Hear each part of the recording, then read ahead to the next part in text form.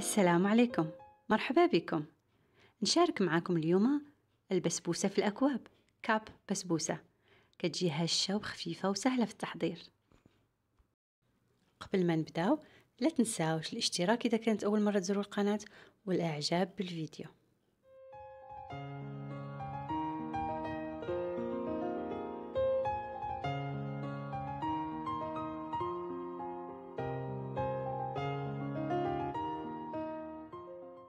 المكونات بالتفصيل في صندوق الوصف.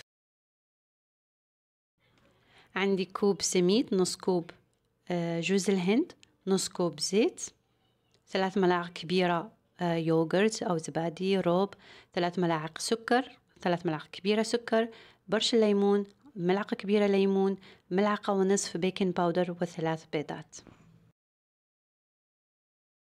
أبدأ بأول شيء نخلط السوائل كلها مع بعض.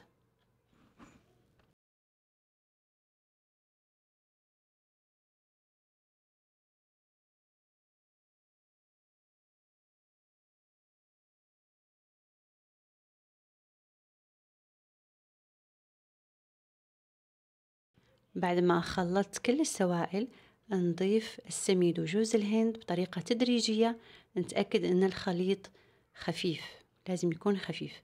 ونضيف في هذه المرحلة ضفت ال baking powder أو خميرة الحلويات.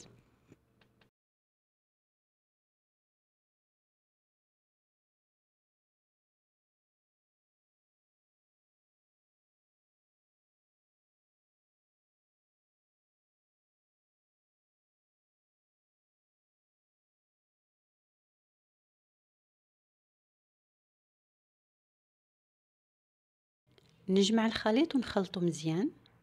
نتأكد أن هالخليط قوام خفيف لأن السميد مرات يتشرب السوائل.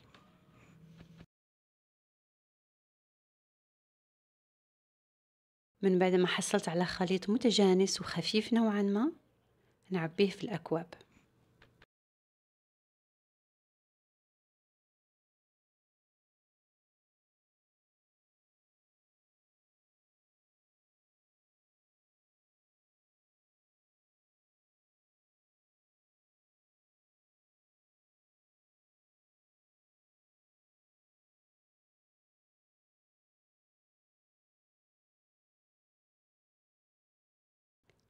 جهزت الفرن على 180 درجة.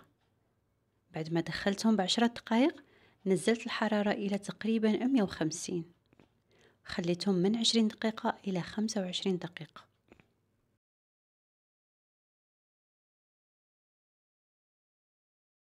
بعود أسنان أو أي عود تأكدت أنها طابت من الداخل.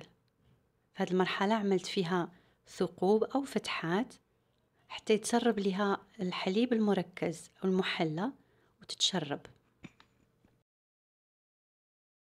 بعد ما تشربت الحليب المركز المحلى زينتها بالفستق أو ال pistachio المطحون مع الورد المجفف. بالصحة والراحة. نتمنى الفيديو يعجبكم وتجربوا cup البسبوسة وتشاركوه مع الأحبة. شكراً.